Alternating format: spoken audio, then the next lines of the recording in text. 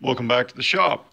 Today I'm building a little project. Uh, it'll be a hammer with uh, a steel hammer with a wood insert on either end.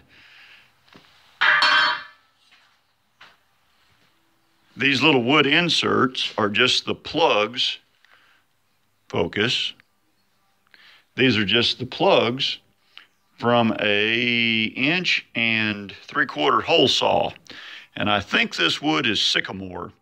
It's uh, it was it's two by fours or yeah, I guess they're two by fours. Two by fours from um, sheet metal skids. Uh, so this this is either hickory or sycamore, and it really don't smell like hickory. So this pipe here is uh, just an inch and a half Schedule 40 pipe. This tubing is uh, thin, very thin wall, one inch tubing. So these fit really snug down in that pipe.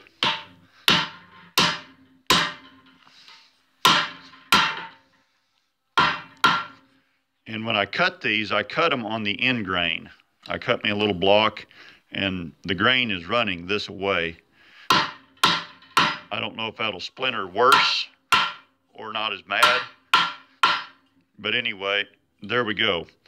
Uh, the whole reason for me doing this is I needed a soft-headed hammer for uh, knocking the chuck up into my drill and stuff.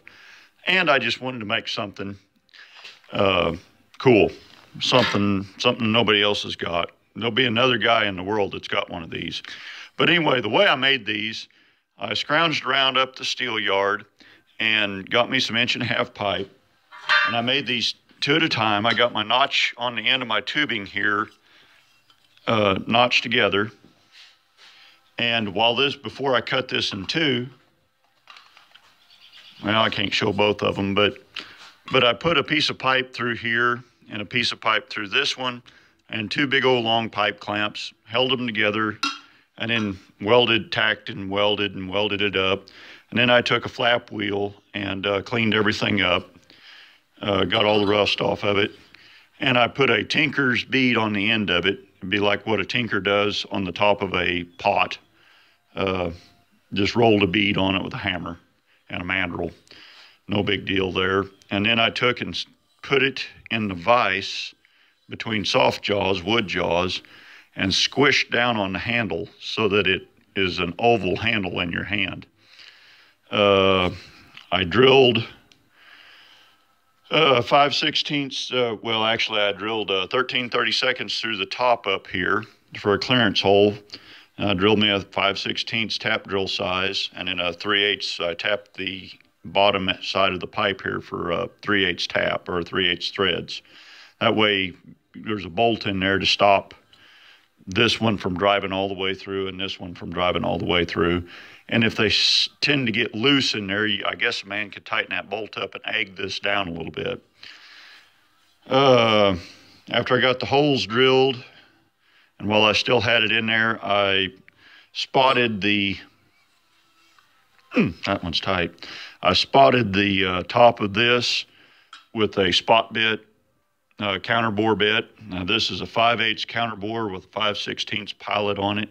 It's just what I had uh, worked out pretty good. This one, I used the wrong the wrong counter bore on this one, and it was too small. So I just took a grinder and with my flap wheel and and put a flat on there so that the bolt bears. So all that being said, I'm going to blue this. And uh, I blued the hand wheel on the drill press the other day, and one man said that he he'd like to, well, he didn't say, he indicated that he would like to see that, some bluing. So I'm going to do my best to uh, get this blued up. Stick with me. So when I fire up the torch, the audio is going to go wonky. Uh, it'll probably be really loud. There's something about this camera rig and setup that it wants to record the torch so much better than what you want it to record. So uh, pause your, mute your stuff now. And when I give you the thumbs up, unmute it.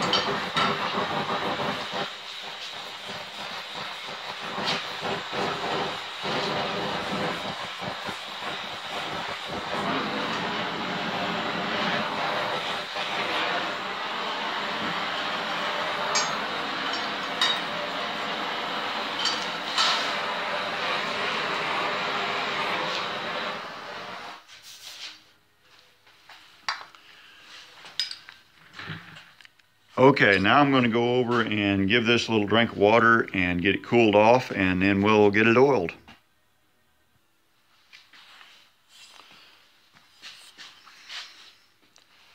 So here we go. This is the finished product. That's still a little warm, but I just cooled it off and oiled it, and there we go.